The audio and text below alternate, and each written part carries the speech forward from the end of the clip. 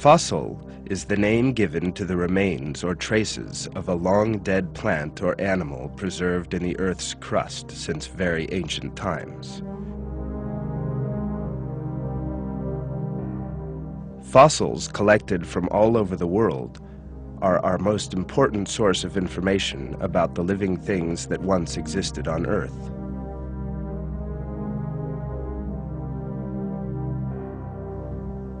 The skeletons of living things, whose contact with the air was suddenly cut off, have survived down to the present day. Research into fossils permits us to learn about animals and plants, revealing which living things lived during which periods. It also provides evidence of the fact that some creatures, which existed millions of years ago, have remained unchanged to date. According to Darwin's evolutionary theory, whose invalidity has been definitely proven by the fossil record, species are descended from one single common ancestor. The emergence of such very different species took place with minute changes being added onto one another over a very long period of time. According to the theory, Single-celled organisms appeared first, and over the course of hundreds of millions of years, these first developed into invertebrate marine creatures, and later into fish. These fish then moved onto dry land, giving rise to reptiles. According to the same claim, birds and mammals then evolved separately from reptiles. If all this were true, then a very large number of intermediate forms of species must have once existed, as one life form supposedly evolved into another. For example, if reptiles really evolved into birds, then billions of half-reptile, half-bird forms must once have lived.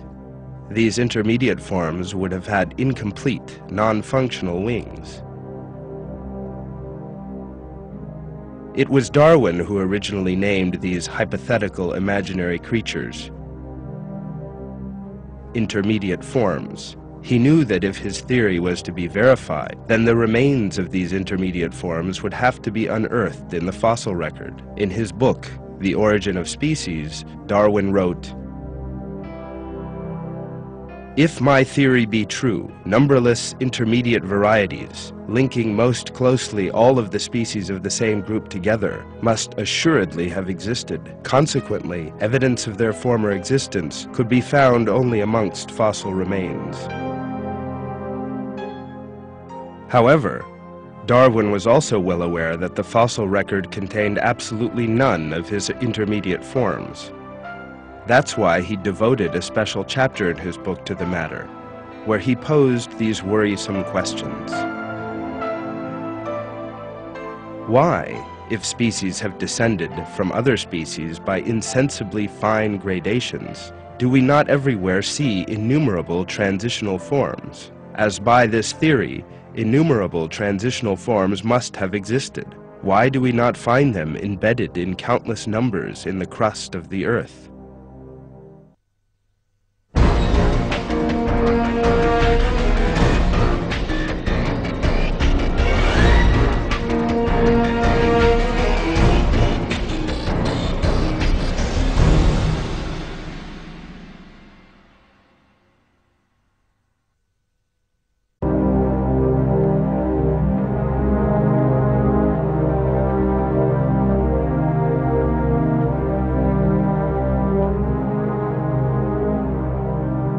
Evolutionists seize on fossils as very important in terms of being able to establish relationships and point out developmental similarities between them and today's living life forms. They look to the fossil record to verify their claims that species evolved gradually from one another.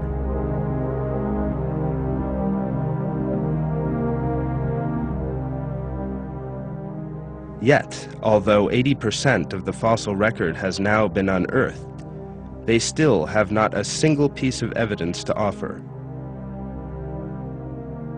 For that reason, in an attempt to prove their theories, some evolutionists have attempted to manufacture their own fossils, and these have later been realized to be forgeries or distortions. The Earth's fossil layers actually prove that living things have existed in their perfect forms ever since they were first created.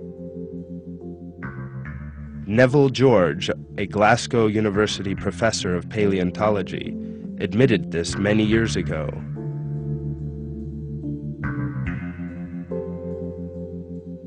There is no need to apologize any longer for the poverty of the fossil record. In some ways, it has become almost unimaginably rich, and discovery is outpacing integration. The fossil record, nevertheless, continues to be composed mainly of gaps.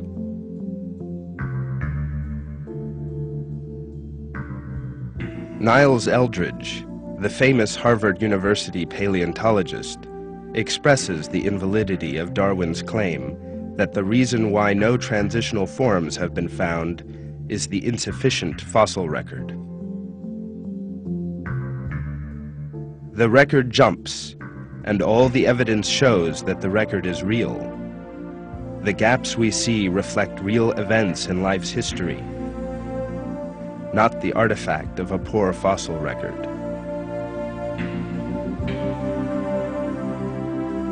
Whenever the fossil record is mentioned, most people mistakenly assume that there is a positive relationship between the record and Darwin's theory. However, an article in New Scientist by David Raup, a professor of geology from Harvard, Rochester, and Chicago universities, refers specifically to this error. A large number of well-trained scientists outside of evolutionary biology and paleontology have unfortunately gotten the idea that the fossil record is far more Darwinian than it is. This probably comes from the oversimplification inevitable in secondary sources, low-level textbooks, semi-popular articles, and so on. Also, there is probably some wishful thinking involved. In the years after Darwin, his advocates hoped to find predictable progressions. In general, these have not been found, yet the optimism has died hard, and some pure fantasy has crept into textbooks.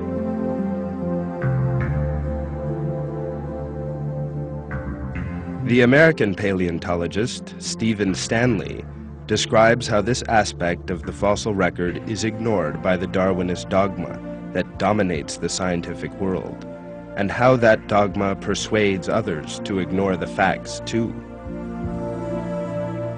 The known fossil record is not, and has never been, in accord with gradualism. What is remarkable is that, through a variety of historical circumstances, even the history of opposition has been obscured.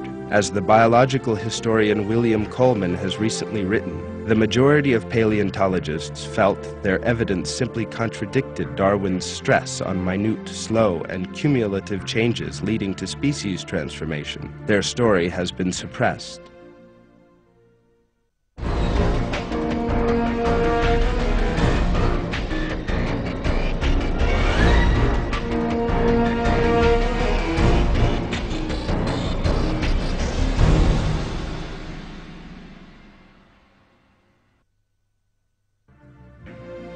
The oldest stratum in which fossils are found is the Cambrian, estimated at between 530 and 500 million years old.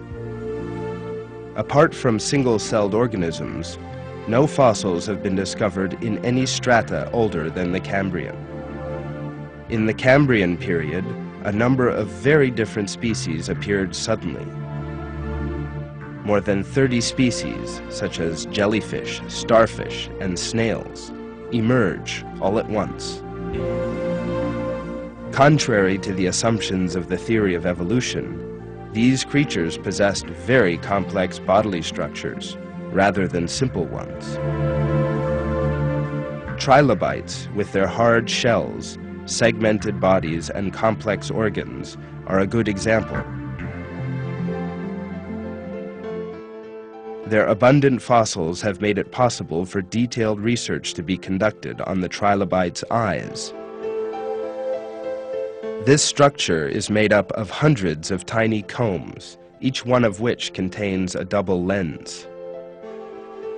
This structure is a marvel of creation. The trilobite's eye is the earliest known eye on Earth and definitely refutes the Darwinist claim that living things evolved from the simple to the complex.